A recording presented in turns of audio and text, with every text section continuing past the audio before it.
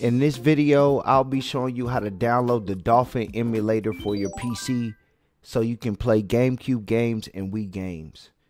The first thing I want you to do is go to the link in the description. There, everything will be there for you to download so you can be successful to get the emulator. In the downloads folder, there should be an actual emulator and also a gift for you. You'll also need an unzipping tool like 7-zip so you can extract the file once you download it. The first thing you're going to do is go to the file that says Dolphin and then you're going to unzip that particular file. Once you open up the file, you'll scroll down to the Dolphin picture and then you'll double click it.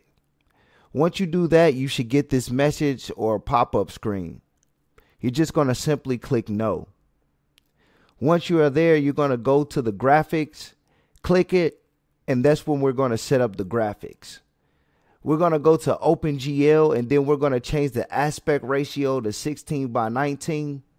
We're also going to click VSync. If you have any issues with stuttering or loading issues, just make sure you come here and this is where you will turn down the graphics to help with any type of stuttering. The last thing we'll check in this section is start with full screen. The next tab we're going to move over to is the enhancement tab where we're going to change our resolution. This is depending on how powerful your PC is. I'm going to change mine to these specific settings. This should work for your PC, but make sure if your PC, depending on how powerful it is, is dependent on these settings. So just start off with mine. And if you have any stuttering or loaded issues, just come here to turn it down the next place I want you to go is where it says controller. This is where we'll set up our controller.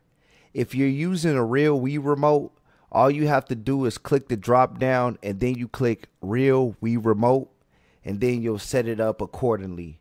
If you use any other type of remote, you'll do the same thing, but on the drop down, you'll click where it says emulate Wii remote and then we'll go ahead and press configure.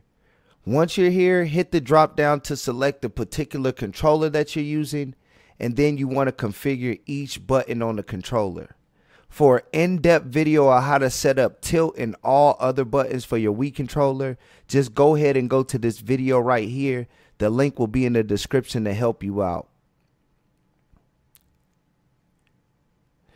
Next thing I would like for you to do is go to config at the top, go to interface, and then click download game covers.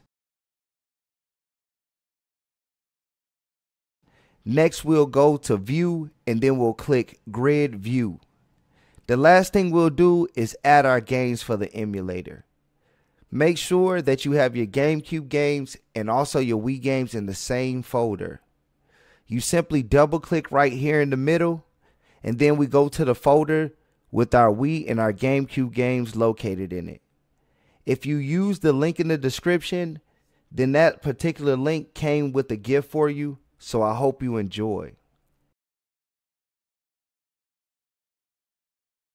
After you do that and click open, the game should pop up right here for you. The next step is to simply play. We'll double click to open the game and then that's it.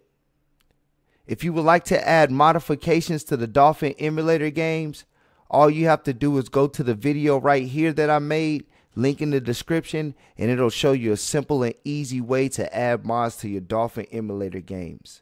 If this video helps you out in any way, shape, or form, please tap that like and hit that subscriber button. Thank you so